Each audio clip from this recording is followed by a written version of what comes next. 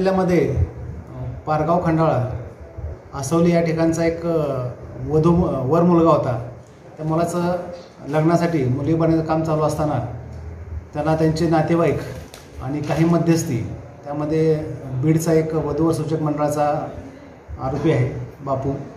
त्याचे नातेवाईक धनाजी लालासो या लोकांनी माझ्याकडं मुलगी आहे कोण मुलगी दाखवतो म्हणून त्यांना सोलापूरला बोलवून घेतलं. आणि लग्न जर तुम्हाला करायचं असेल तर मला एक लाख साठ हजार द्यावं लागतील. असं ठरल्याप्रमाणे तीन महिला आणि वधू या पाच सहा जणांनी मिळून या ढवळे आणि त्यांच्या नवरदेवाला त्यांच्याकडून एक लाख साठ हजार रुपये आणि अंगावरचे दागिने असं घेऊन फसवणूक केलेली आहे. आणि जर मुलगी तुम्हाला परत नांदवा पाहिजे असेल तर मला परत अजून एक लाख रुपये द्यावं लागतील. नाही दिले तुम्ही तर तुमच्याविरुद्ध परत आम्ही पोलिसात खोटी तक्रार करू.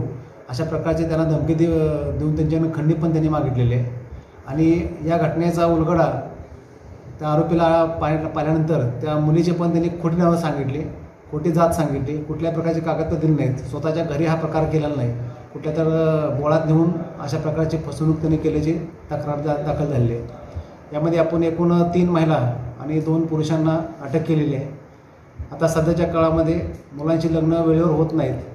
म्हणून या लग्नासारख्या पवित्र कामा कामाचा अशा पद्धतीनं फसवणुकीचा वापर करून केवळ फसवणूक करून त्यांचे दागिने त्यांचा पैसा लुबाडून त्या ठिकाणी जाऊन परत हे महिला गायब होतात आणि अशा प्रकारची फसवणूक करतात.